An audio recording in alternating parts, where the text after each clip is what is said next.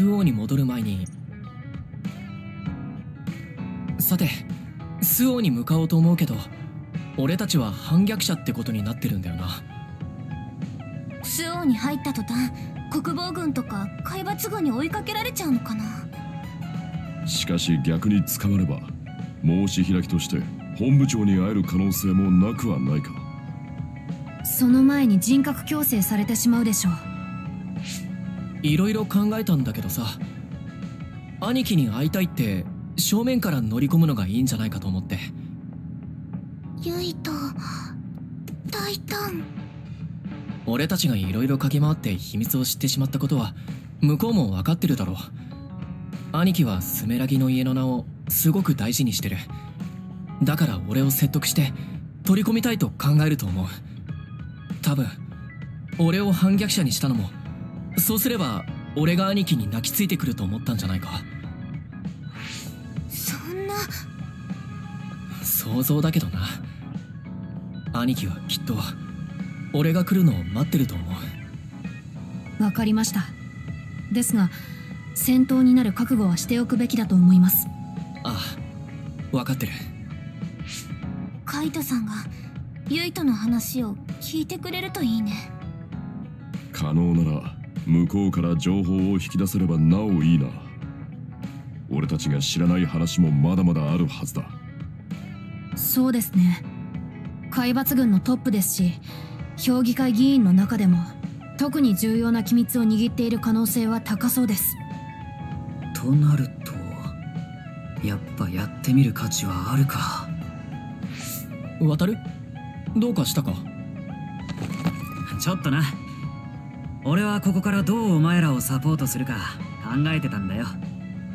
ま任せといてくれ。ああいつも通りよろしく頼むよ。それじゃあスオに出発しよう。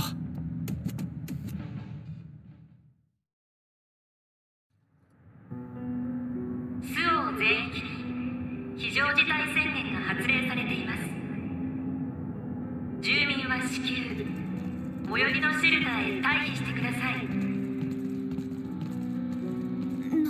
れどういうこと？兵士も全然いない。ううん隠れてるだけ。この辺り一帯国防軍が取り囲んでる。反逆者を待ち伏せてるにしちゃ違和感あるな。いかにも何か企んでますって感じだぜ。たとえ罠だろうが正面突破するしかないさ。とにかく海抜軍本部まで一気に。誰か一人こっちに来る。あれは？ようユイと会いたかったぜ。ナギどうしてここに？どうして？だ 随分とのんきなもんだな偉大なるニューヒムカに逆らうクズども。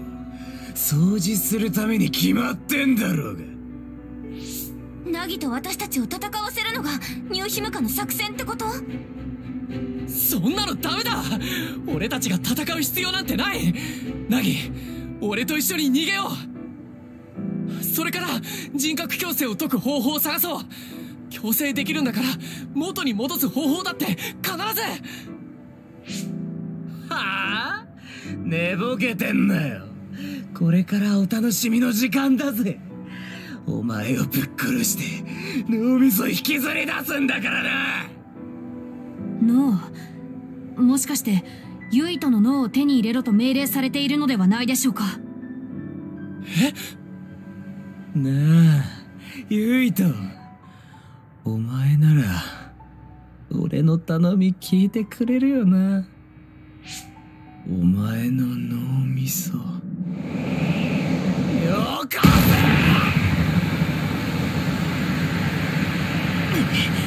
せ。なんて力だ。人格強制だけじゃない。何らかの超能力強化処置を受けたに違いありません。くそ。なんでなんでこうなるんだ。俺たち戦うしかないのかよナギ戦いたくなきゃそこに突っ立って。すぐに首飛ばしてやるからさ。ナギどうせ抵抗するんだろ先生上がりそれを楽しませる力が溢れてくる。い。い。ぜチャクラムの動きを読み切れない。時は俺の超能力を使うといいやっはっ。ナギの超能力は飛躍的に高まっています一瞬でも躊躇す。れば命取りです。ユイトを殺させはしない。ナギを全力で止めるぞ。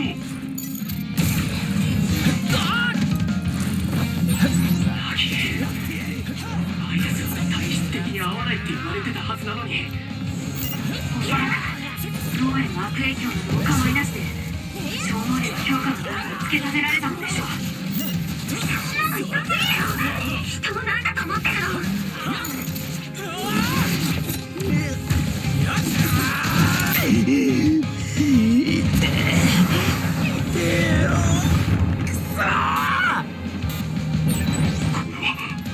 大技を仕掛けてくるぞ。お前が。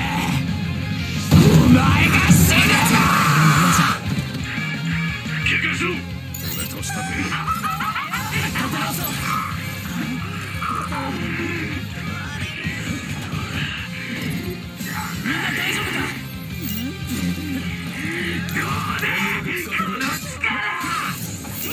ナギこれ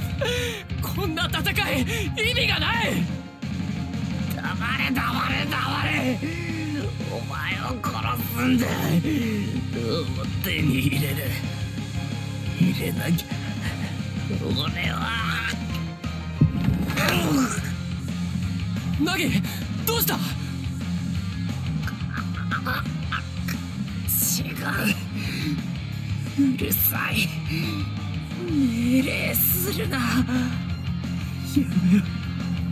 やめろ。くそ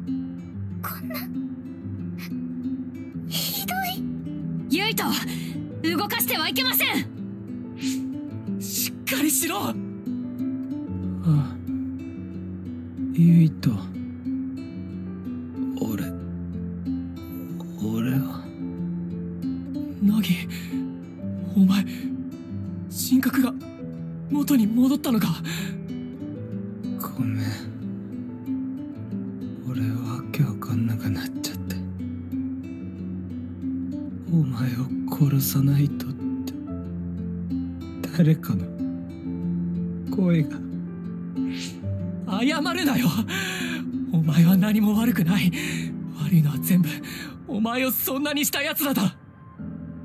戦いたくなかったのに逆らおうとしたけど苦しくて俺何もできなかった。お前を殺せって従わないと殺すって言われて怖くて俺もう頭の中ぐちゃぐちゃだだからお前と戦うのは止められなかった。そうするしかないんだって。思い込んで。抗うほどに繰り返し人格強制が行われたのだろう。なぜこんなむごいことができる？俺は大丈夫だ。だからナギが自分を責める必要はない。脅しだって怖がらなくていい。俺が一緒に戦う。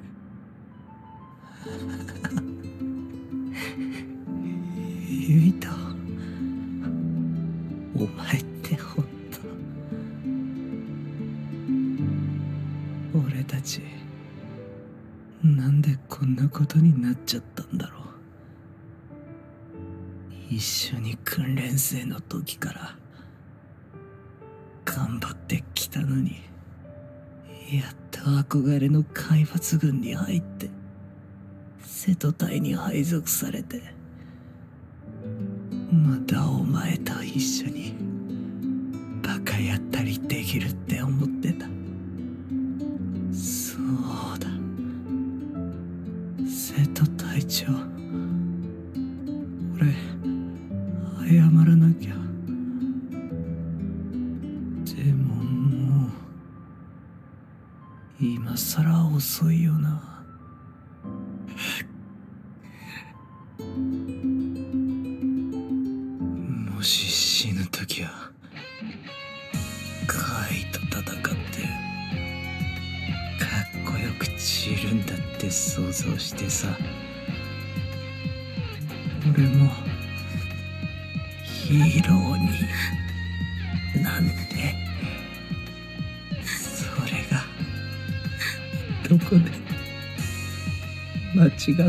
かな。ああゆいとどっちにしてほしいなんなら俺どうすればよかったのかな。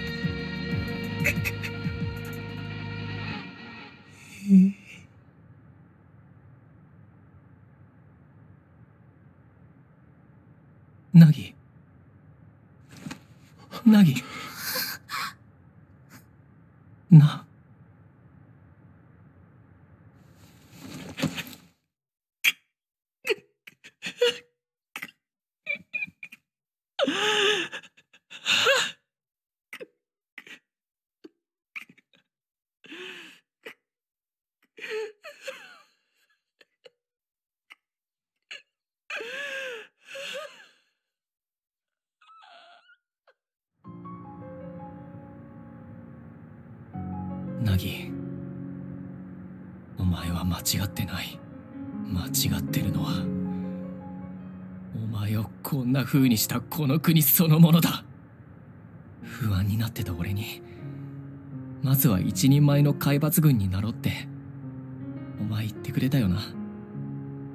俺大勢の人を救いたいなんて言って。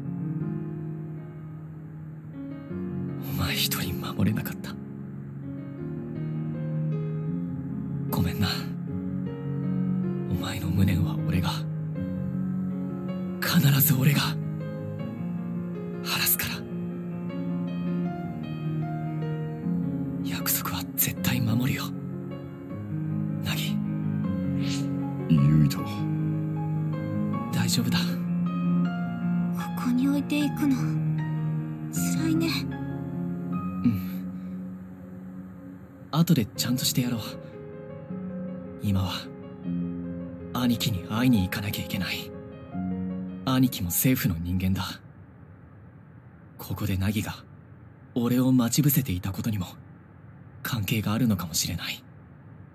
そんなまさかカイトさんがナギを使ってユイトを狙ったっていうの？わからない。どっちにしろ会えばはっきりすることだ。海抜軍本部までの経路周辺国防軍が集まってきてる。あっちはまだ反逆者捕獲を諦めてないらしい。お前らの相手じゃないだろうが一応気をつけてくれ。それからユイト無理はすんなよ。ありがとう渡れそれじゃあ海抜軍本部へ向かおう。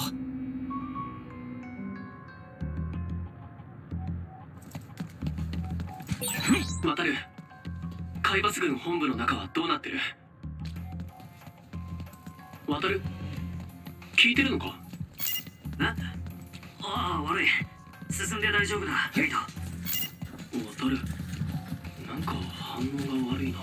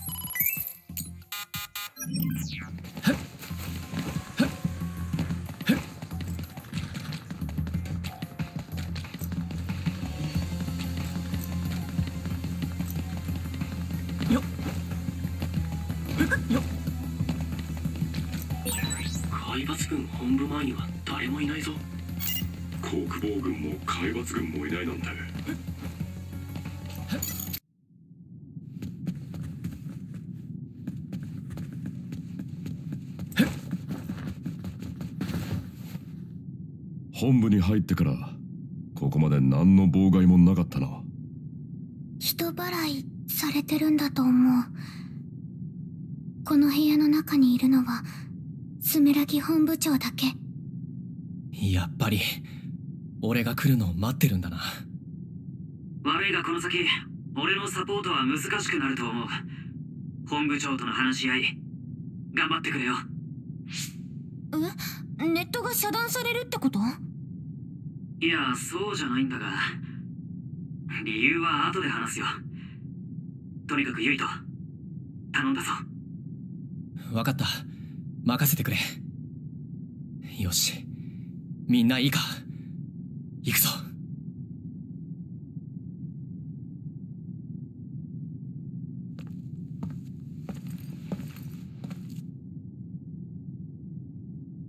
兄さんやはり来たか。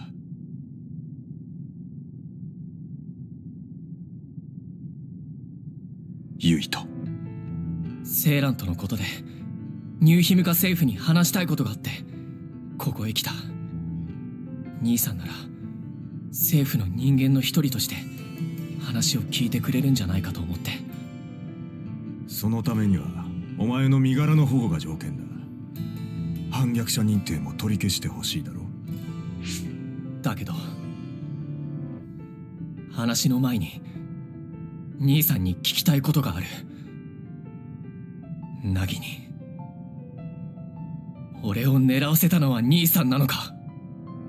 だとしたらなんだ？そんな本当に。しかし奴は失敗した散々強化処置もしてやったのに結局出来損ないは凪を侮辱するな！ユイト気持ちはわかるが。酷ですがここはこらえてください。なぜだ？なんでだよ兄さん！凪があいつが何をした？怪異化の秘密を知ったから人格矯正されたなどということはもう知っているのだろう。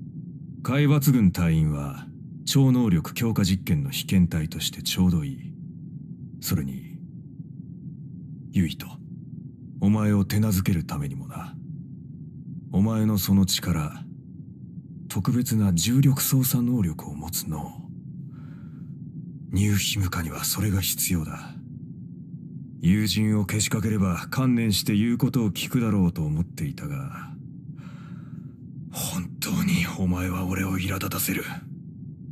俺の俺の超能力のために凪をあんな風にしたって言うのかよ！お前がおとなしく政府に従っていれば私もこんな方法を取る必要はなかったんだ。反逆者認定された時にさっさと私のところへ泣きついてくればそれなりの処遇をしてやったのに。お前は昔からそうだ勝手に自分で物事を決め勝手に行動に移して私の忠告など聞きもしない。スメラギ家の者としての自覚がまるでない。だから父さんもお前には話さなかったんだ。何をだよ！我々の使命はヤクモスメラギの悲願達成にあるということだ。ヤクモスメラギの悲願？余計なことだお前たちが知る必要はない。もしかしてそれは月と関係しているのでは？ヤクモスメラギは月からの最初の移民なのですから。お前たちどこでそれを？渡月。私たち渡月へ行ってニューヒムカが隠している情報をたくさん手に入れた。渡月だと姿を消したと思ったらあんな奴らのところへ行っていたのか。最初に言っただろ。話したいことがあるって。渡月の企みを止めないとニューヒムカも大変だ。渡月のことなど何一つ信じるに値しない。まさか奴らの洗脳を受けてはいないだろうな。洗脳してるのはどっちだよ俺たちは渡月で聞いた話を自分たちで検討してある程度の確信を持ってる。黙れ。ヤクもスメラギの崇高な使命を知りもせず渡月の口車に乗せられたのだろう。お前たちに本当の歴史の一端を教えてやる。かつて月の人類は人口削減を目的として我らが偉大なる層を地球へと追いやった。そればかりか。断絶の帯を作り出し移民たちを地球に閉じ込めたのだ。え？断絶の帯は月の人たちが作ったものだったの？これだけでも月がどれほど非道かわかるだろう。真空の果てにニューヒムカを建国したヤクモスメラギは決意した。己の代で成し遂げられなくとも構わない。いつか断絶の帯を消し去り月へ攻め込もうと。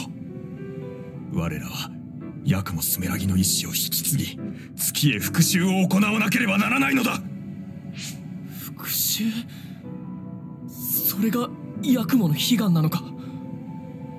そうだ！建国の父の意志にして遂行すべき使命。ニューヒムカの全てはそのために存在する。これで分かっただろうユイト。お前のなすべきことが。ヤクモの子孫であるスメラギの者としての責務がお前の重力操作能力を使えば断絶の帯を動かせる。月への道を切り開き復讐を果たす時が来たのだ。俺には断絶の帯を動かすほどの力なんて。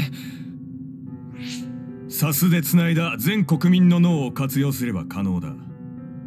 たとえ一般人程度の脳であっても何千何万の数をつなげば脳機能を大幅に拡張することができるそうしたあまたの脳を超能力者に接続することでニューヒムカの戦力を飛躍的に高められるのだ。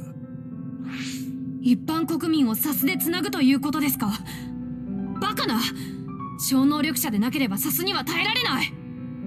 耐えられなくとも構わない。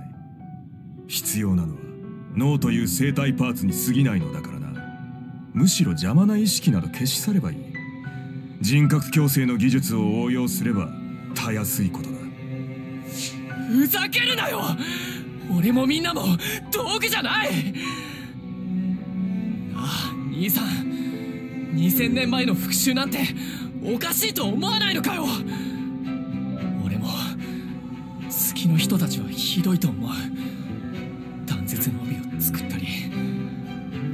でも全国民を勝手に巻き込んでいいことなのか！それがヤクモスメラギの意志だヤクモヤクモってとっくの昔に死んだ人じゃないか。ヤクモスメラギは生きている。兄さん何を？あの方は周王の地下深くに眠り今この瞬間も復讐の時を待ち続けているのだ。まさかコールドスリープ。かげろうと同じ。私も初めて父から聞いた時は驚いたよ。そして同時に悟ったのだ。自らの負う宿命をな。大人になれユイトスメラギ家の一員として理解しなければならない事情はいくらでもある。宿命？なんだよそれ。2000年前からの伝統だからスメラギの人間だから。そんなのは思考停止の言い訳だ。俺は兄さんみたいになるつもりはない。自分の手で真実を探して見つけて自分の頭で考えて判断したいんだ。家の名を失うことになるぞ。構わないよ。スメラギの名前がなくても俺は俺だユイトお前。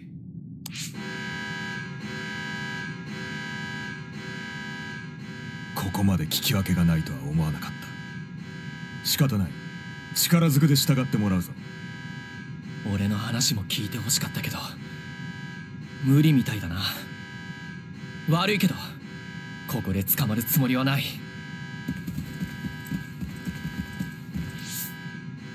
父さんに申し訳ないとは思わないのか？悪いと思うよ。けど父さんは多分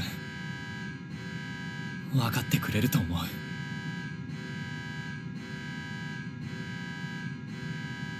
あのバカ者が！ユイト重要な話がある。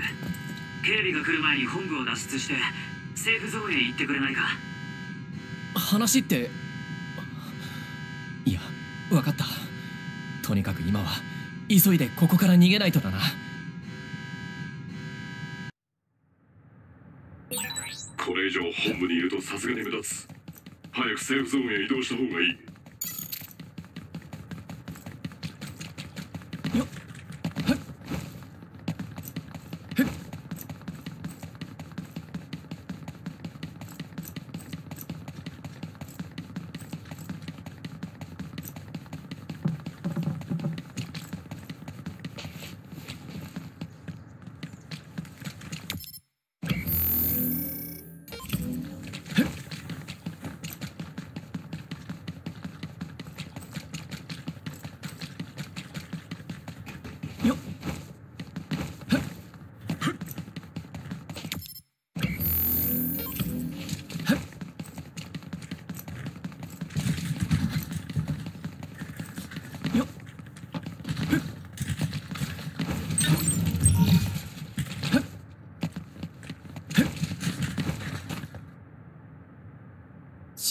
人影はない。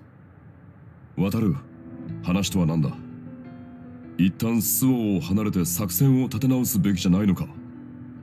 いやすぐに聞いてほしい話なんだ。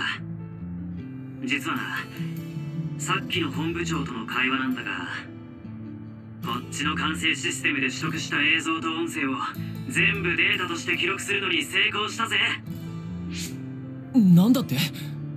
記録は禁止されてるって前に渡るが自分で言ってたじゃないか。禁止されてるってことはなやろうと思えばできるつうことだよ。いろいろ細工は必要だったけどな。なんて危険なことを。もしバレたら人格強制どころじゃ済みませんよ。危険なのはお互い様だろ。足がつかないように注意したがまあ確かに無茶やったから二度目はないぜ。そっか。サポートできないって言ったのはその細工に集中するってことだったんだね。兄貴との会話が映像データに。ユイと吹雪さんから託されたパスのことを考えているんじゃないですか？荒幅機にアクセスすればデータを全国民に送信できる。うん吹雪連隊長の考えた作戦が実行できる。そうだよな。そしたら兄貴の立場は親父の名前も地に落ちることになるだろうな。ユイとユイト。もちろんお前の家に関わることでもあるがお前が一人で責任を背負う必要はない俺は隊長の判断を尊重するが結果を共に負う覚悟もある。俺たちはチームなのだからな。ユイトには辛い決断を迫っていると思います。でも皆玄馬と同じ覚悟はありますよ。みんなありがとう。兄貴や親父が守ってきたものを俺が壊すことが本当に正しいのか。正直言って迷いはあるよ。けど俺は知ってしまった。だったら行動したい。これは俺がやらなきゃいけないことなんだと思う。荒幅き行こう。そして兄貴たちがニューヒムカが隠していた真実を。みんなに伝えよ分かった。みんなで必ず成功させようね。決まりだな。荒幅機へ入るルートは用意した。事前に吹雪連隊長が情報を送っててくれたんだよ。うありがとう渡る。映像データのことも。やっぱり俺たちのオペレーターは頼りになるな。俺は俺のできることをやっただけだよよし。荒はばきの位置データを送ったぞ。みんなこのまま荒はばきへ向かおう。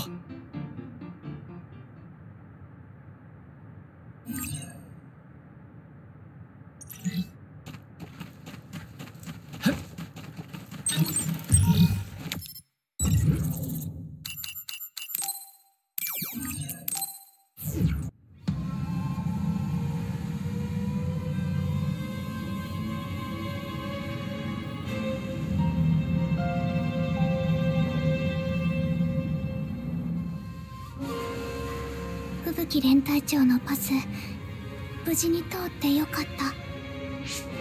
ここが荒幅機の中なの？昔社会見学で行った場所とはちょっと雰囲気が違う感じ。荒幅機は周防の地下に層構造で作られている。一般公開されているのはもっと上層の部分だ。なおそらくここは荒幅機をコントロールするための制御層と呼ばれる場所だと思います。吹雪さんでも簡単には来られない場所ですから。僕もよくは知らないのですが。とにかくここのどこかから荒幅機へのアクセスが可能ってことだよな。周辺に怪しいものや人影はない。でもこの先はかなり広いみたい。分かった。何か見つけたら教えてくれまずはアクセス端末がありそうな場所を探そう。結局カイトさんにはセーランとの戦争を止める話聞いてもらえなかったね。あの感じじゃ渡月絡みってだけで聞く耳を持ってくれなさそうだったからな。カイトさんびっくりしてたね。ユイトが反抗するなんて思ってなかったみたい。そうだな。自分でも驚いたけど言いたいことが言えてちょっとすっきりした。これまではあまり本部長と本音でやり取りする機会はなかったんですか？全然。なんか遠慮もあってさ。兄貴は昔から親父の後を継ぐって言って俺とは全然違ったから。兄貴も自分の信じるものに従って行動したんだと思う。だからって許すことはできないけどさ兄弟であっても相互理解が叶うとは限りません。僕の兄さんもつかめない部分が多くて。カレン元連隊長はうちの兄貴より手強そうだ。弟同士苦労するな。そうですね。10時の方向から何か来る。これは怪異？何？ここは人が出入りする場所だろう。なぜ怪異がこっちでも確認した。まさか侵入に気づいてどっかからおびき寄せたのか。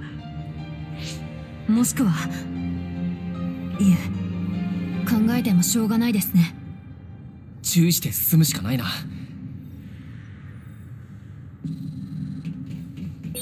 荒幅機の中は通信状態が悪いな映像データの受け渡しに時間がかかるかも。了解。なんとか急いでくれ。ここは。行き止まりだがみんな離れてくれ。足を下ろせば道を作れそうだ。でもあの橋跳ね上がってる。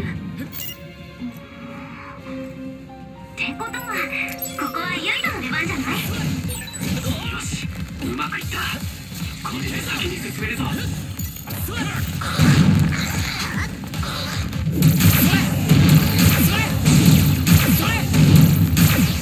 ちゃんこだ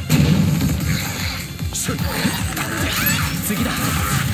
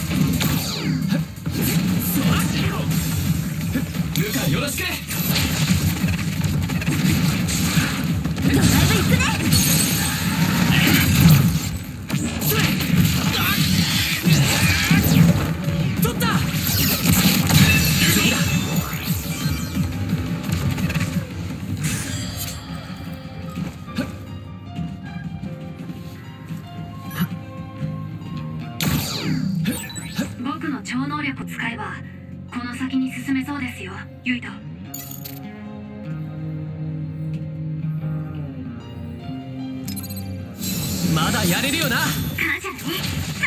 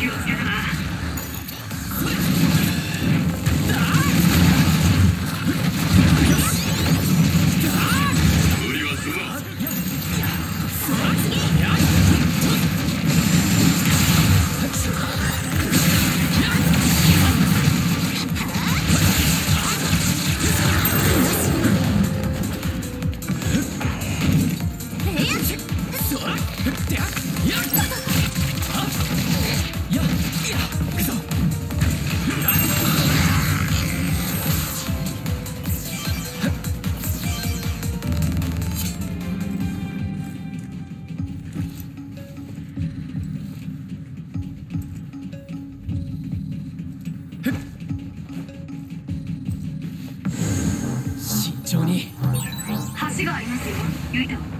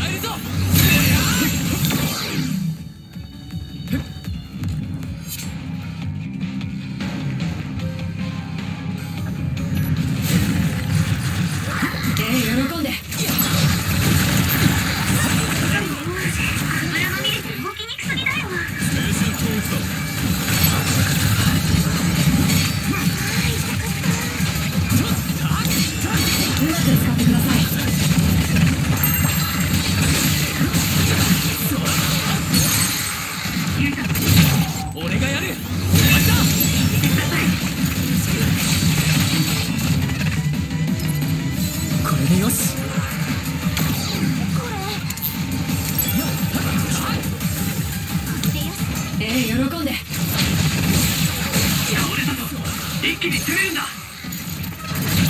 狙えるぞ。やったか。あいつの撃ってくる弾に当たると一時的に意識が混乱するみたいだ。注意してくれ。やった手焼いた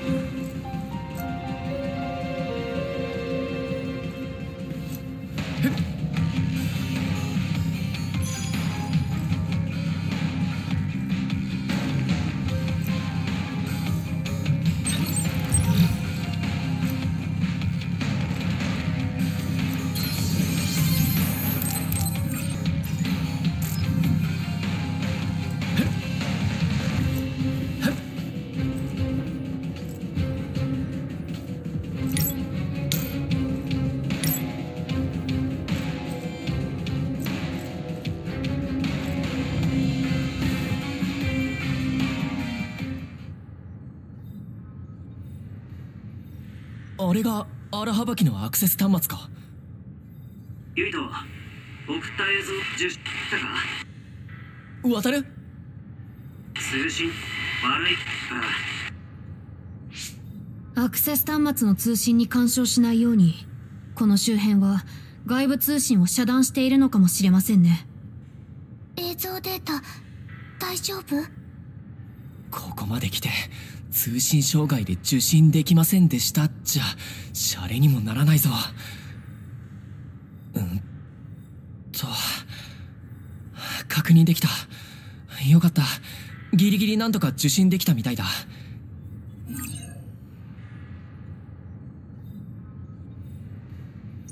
あとは荒はばきに接続して送信するだけか。また椅子型の端末ゆいとアクセス端末の操作私がやろっか？いや。俺にやらせてくれないか？俺が自分で実行したいんだ。分かった。でも気をつけてね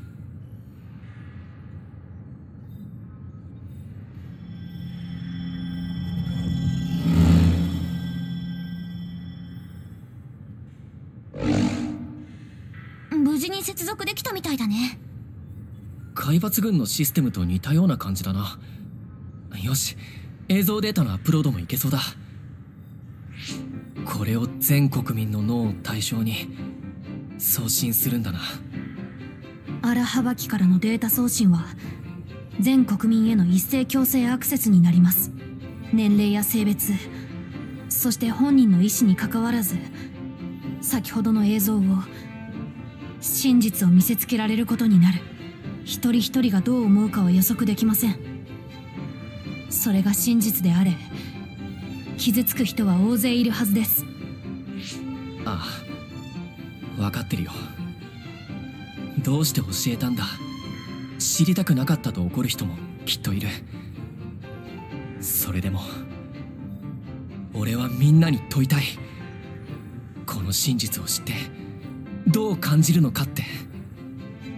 父さん兄さん勝手してごめん。でも俺は自分の選んだ道を行くよ。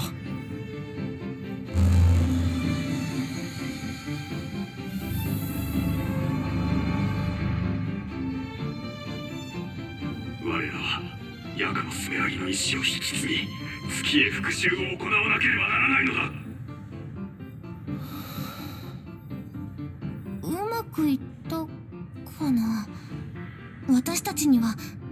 配信されてないみたいだけど。ここは通信が遮断されてるから。あそっか。でも配信中の表示はちゃんと出てるね。ニューヒムカの国民全員がこれを見ているなら今頃外は大騒ぎだろうな。政府も大混乱でしょうね。まずは保身に走るだろうとは思いますがおそらくは兵の動揺も激しいはずですセーランとの戦闘どころではなくなるでしょう。ニューヒムカとセーランの争いがやむならまずはハードルを一つクリアってところだけどな。この映像はきっかけだ。ニューヒムカがこれからどう変わっていくのかまだ想像できないけど。あと急務は渡月の暴走をどうやって止めるかだな。状況を確認して次の作戦を練りましょうひとまず外へ出た方がいいかと思います。そうだな。怪が来る可能性もあるし急いで脱出しよう。じっとしていろ。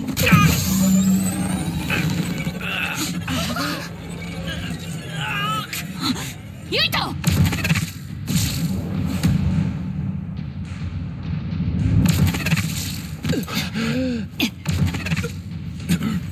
ら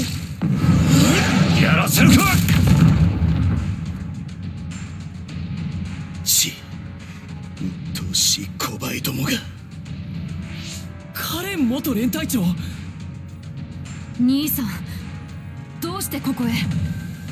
今さらユイトの超能力をコピーする気なの？不意打ちが失敗したなら賞賛は薄いぞ。分かっているはずだ。俺がその気になれば貴様らを一瞬で消し済みにすることもできる。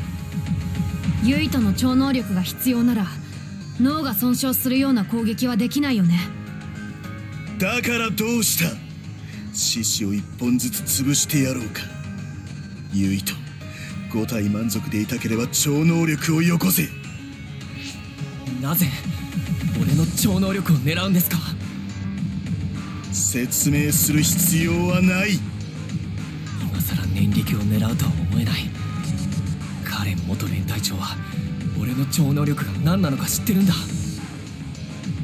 な場所まで俺の超能力を取りに来るなんて。何かを企んでいることは確実だ。それが何なのかわからない以上抵抗します。俺に無駄な時間を使わせるか。すぐに従わなかったことを後悔するんだな。手間をかけさせるな。カレンと戦うなんて。無謀すぎる。だけど怖いけどやるしかないユイと守らなきゃ何を考えてるんだよ兄さんもう僕には兄さんがわからないわからなくていい下がれるか？それができないな排除するまでだ兄さん戦った時よりもっと攻撃の威力も強度もしてるセプテントリオ空の人の進化は止まらないってわけかけど俺たちだって前よりは成長してるはずだとしたことが抜けてる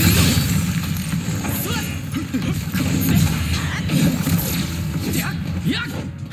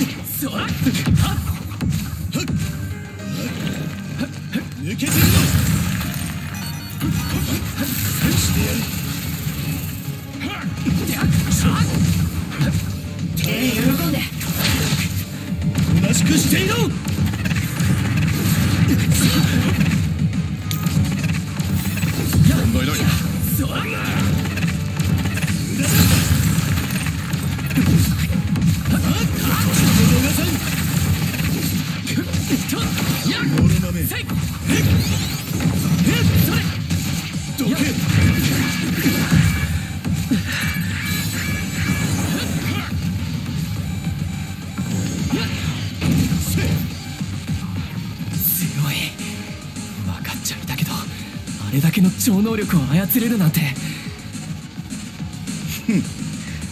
思ったよりもしぶといな。これでも場数を踏んできたので随分戦い慣れました。確かに兄さんは多くの超能力を駆使できる。でもそれを処理する頭脳は一つだ。複数名を相手取れば処理の遅れる場面が必ず出る。兄さんの思う通りにはいかないよ聞いてもらえませんか？俺たちはこれ以上戦いたくありません。何を勘違いしている？そのセリフは勝者のものだ。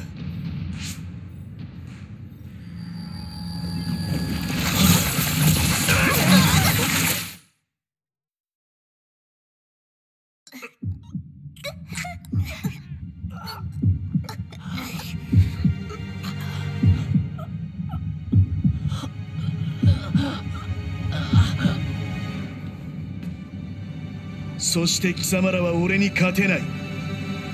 ここでは絶対にな。侵入を受けた。一体何に？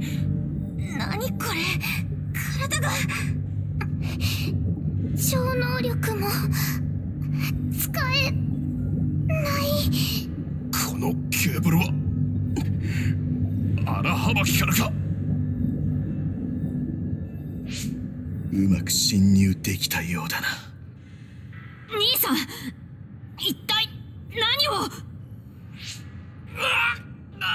頭痛がなんだこの感じどこかで覚えがあるこれはそうだ船戸高速で重ねの超能力とした時あの時の感じに似てるんだ。ゆいとどどうしたの？まさか脳の深部まで侵食を受け言葉も発せられないのでは？荒幅きが俺を操ってるのか？誰かの意志を感じるけど誰なんだ？超能力が勝手に発動。くそダメだ。止められない。まさかカレン元連隊長の目的は？また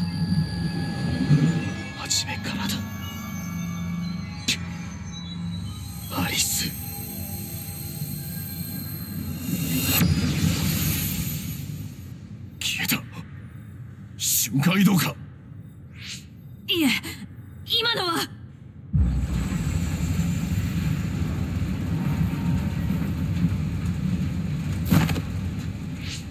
あの人は時間跳躍をするためにここへゆい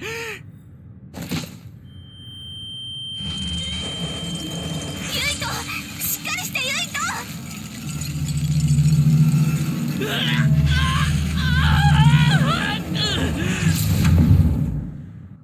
なんだここ俺は。えっとどうしたんだっけ？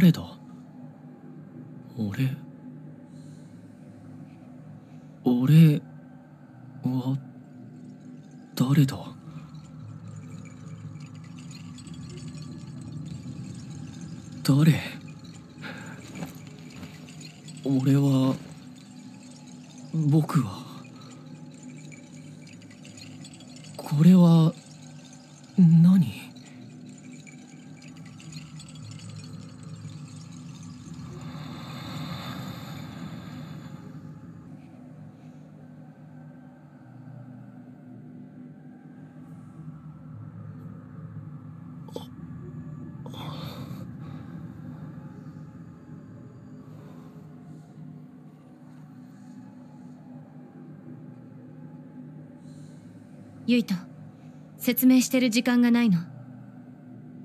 これをつけさせて。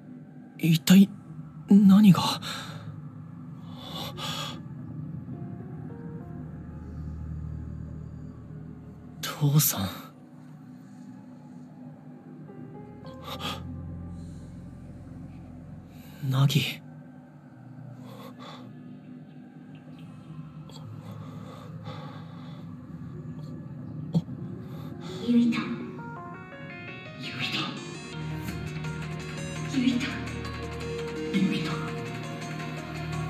んでる？俺を？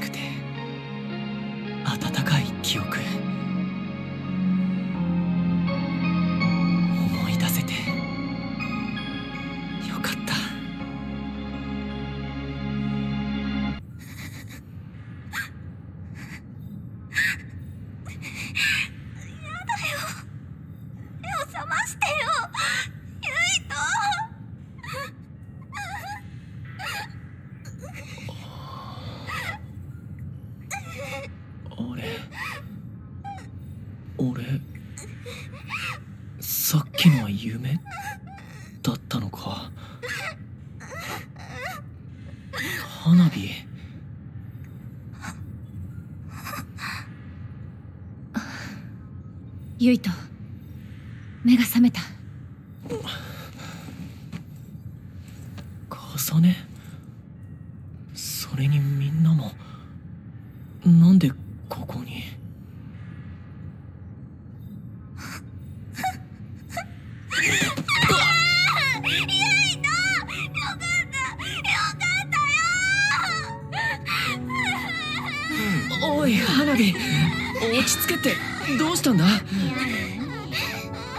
ってば花火？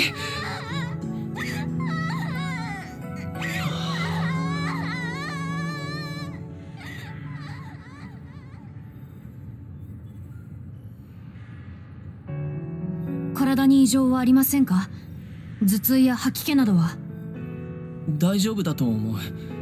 意識もはっきりしてるし。一体何があったんだ？兄さんの襲撃を受けたことは覚えていますか？ああそれから荒はばきの侵食を受けて超能力を無理やり使わされてそれからどうなったんだ？この辺りに大地震が起きてユイトが倒れるのと同時に兄さんはどこかへ姿を消しました。ユイト頭を抱えて苦しがってたすればいいかわからなくてそこに重ねたちが来た。駆けつけた時はもう大変よ。つぐみちゃんは真っ青。花火ちゃんはユイトにしがみついて号泣してるし。玄馬やルカまで顔色をなくしていたからてっきりユイトが死んでしまったのかと思ったよ。そんな状態だったのか。でもどうして重ねたちが荒はばきに？カレンは私の超能力を無理やりコピーしてその後ユイトを追って瞬間移動したのよ。どうも私だけじゃなくてユイトの超能力も必要だと考えたみたいね。重ねと俺の超能力レッドストリングスのことだよな。そうよ。結局カレンの目的は不明だったんだけどとにかくあなたに警告しなきゃと思ったの。でも荒はばき内部は通信ができないと分かって急いで駆けつけたというわけ。渡るの助けもあってね。ユイトあなたは意識と記憶が失われかけていてとても危険な状態だったのよ。自分がどんどん消えていく夢を見たけどあれは現実だったんだな。でも重ねがね私たちの記憶を使ってユイトの記憶を再構築しようって思いついたの記憶の再構築？ユイトとサスで繋がった時に共有した記憶や共に過ごした記憶でユイトを形作ろうとなみんなでサスケーブルをつないでユイトの中にデータ化した私たちの記憶を送り込んだ。記憶には持ち主の主観が混ざるわ。様々な人格の記憶を混ぜるのは人格矯正に近い技術で危険な行為だった。正直に言えばうまくいくかは賭けだったわ。でもみんなの協力があってあなたは奇跡的に目覚めた。意識が戻ってよかったわね。そうか。俺何もかも失っててもおかしくなかったんだ。今俺の中にある記憶はみんなが保存してくれてた俺の記憶をつなぎ合わせたものなんだな。ありがとう。本当に頭は痛くない？何か思い出せなかったりしない？大丈夫だよ。記憶はちゃんとある。体の調子もおかしくないし。ユイト記憶がちゃんとあるってことは昔のこと。例えば私たちに会う前の記憶もあるの。え？あああるよ。でも確かにみんなの記憶をもらったんなら昔のことを覚えてるのは不思議だな。僕たちの持つ記憶以上の保管が行われた。それとも運よく消えずに残っていたのでしょうか？もしかしてあの時のみんなでサスを繋いでいた時外部サーバからの通信があったように感じたのよ。ユイトあなた外部サーバに過去の記憶を保存していたの？いやそんなことはしてないぞ。どういうことだ？そう。あれは何だったのかしら？ユイトの古い記憶も保管されていることに関係がありそうだけど。どうやら我々の記憶をつないだというだけでは説明のつかないことがあるようだね。気になることは多いですがそろそろ移動しませんか？ここに長居するのは危険だと思います。そうだね。ユイと動ける？ああ大丈夫だ。重ねたちも行くだろええ。荒幅きに用はないわ。あなたが無事でよかった。一緒に脱出しましょう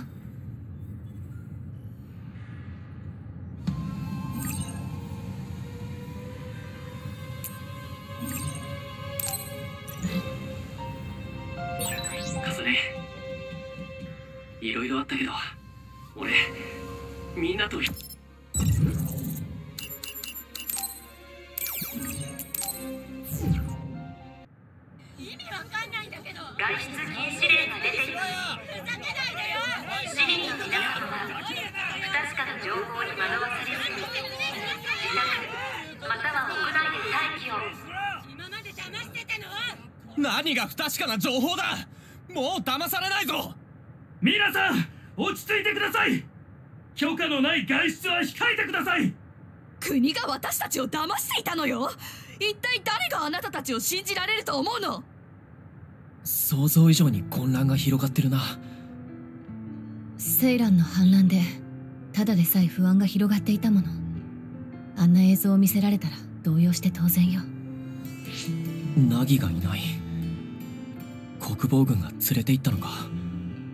後で渡りに確認してもらおうお前たちも一斉送信の映像は見たんだな。ああ渡月で知った情報も多かったが本部長の口から語られるとやっぱり重みが違ったな。こうなることは分かってて荒はばきを使ったんだ。俺は自分のやったことに後悔はしない。後悔しないようにこれからニューヒムカを変えていかなくちゃいけないんだこっちに誰か近づいてくる。敵か？え本当に？よかった。ようやく会えた。探したよみんな。吹雪連隊長心配していましたよ。旧海抜軍病院で別れて以来ですね。間一髪のところ彼に助けられてね。気づいたらセイランにかくまわれていたよ。セイランによく無事とは言えませんね。怪我してるようですけど大丈夫なんですか？心配はいらない。それよりもユイトに伝えたいことがある。俺に？当月から君に追っ手がかかっている。早めに気づいたから撃退できたが次もあるかもしれない。注意してくれ渡月が出した追っ手それを吹雪連隊長が一人で撃退したんですか？僕は口を動かしただけだ。直接戦ってくれたのはセイランの軍勢さ。セイランを動かしたのかよ？簡単に言っちゃってるけど一体どんな手やら口やらを使ったのかね？やっぱり重ねだけじゃなくてユイとも狙われているのねとにかく無事に合流できた。お互いに聞きたい話はあるだろうしアジトで情報共有を行わないか。その状態で歩けるんですか？随分無理をしているようですけど。寝不足はたたっているかもね。でも今はゆっくり休んでいる場合じゃないだろう。まずは安全な場所でこれまでの吹雪連隊長大丈夫ですか？あまり騒がない。人が集まる。みんな吹雪連隊長を休ませるためにもひとまず俺の隊のアジトへ行こう。ユイトたちはこんなところにアジトを持っていたのか。うちのアジトと同じタイプのユニットみたいね。作りがそっくりだわ。吹雪連隊長の様子はどうだ？応急処置は終わりました。鎮痛剤が効いたようで今は眠っています。超能力を酷使したみたいで疲労も濃かったわ。目覚めるまでは安静にしておいた方が良さそうね。心配しなくとも命に別状はないよ。あいつはそんなにやわじゃないさ。そそうか。よかった。話をするにも待つしかなさそうね。ところでこれからはこのアジトをみんなで使うってことでいいのか？ちょっと手狭になるけど。その方が何かと便利よね。なら各自荷物を整理しましょう。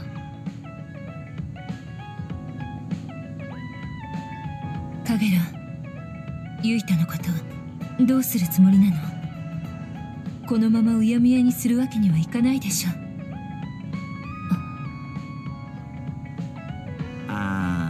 れ言っちゃう？まあ当然か。一応俺なりに考えてるからさ。ちょっと時間くれや。